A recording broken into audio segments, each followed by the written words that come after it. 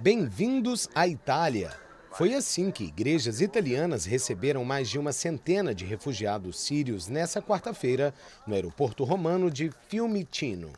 As crianças saudaram o país com Vida Longa Itália.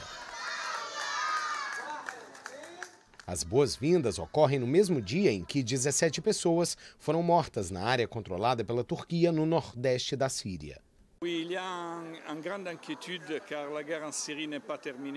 Existe uma grande preocupação, pois a guerra na Síria não acabou. Ainda existem muitos migrantes e, portanto, os recursos dados pela Europa não são suficientes.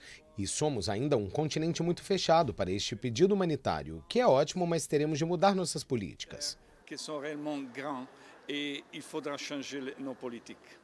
As 113 mulheres, homens e crianças vieram procedentes do Líbano, onde grupos religiosos organizaram uma travessia segura para fora de campos de refugiados. Desde 2016, juntos os grupos encaminharam cerca de 3 mil sírios para países como Itália, França, Bélgica e Andorra. Mês passado, o presidente turco Recep Tayyip Erdogan ameaçou abrir as portas para que refugiados atravessem para a Europa, aumentando o medo de novas ondas migratórias.